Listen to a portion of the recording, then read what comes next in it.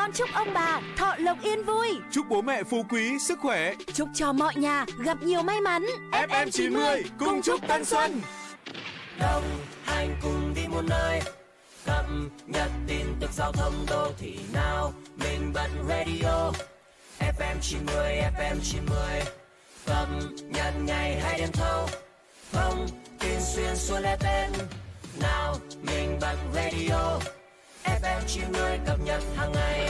FM 90 sẽ đồng hành cùng quý thính giả lan tỏa không khí Tết đến mọi cung đường thủ đô Hà Nội. Kênh FM 90, tin tức và giao thông Hà Nội. FM 90 cập nhật trên mọi cung đường.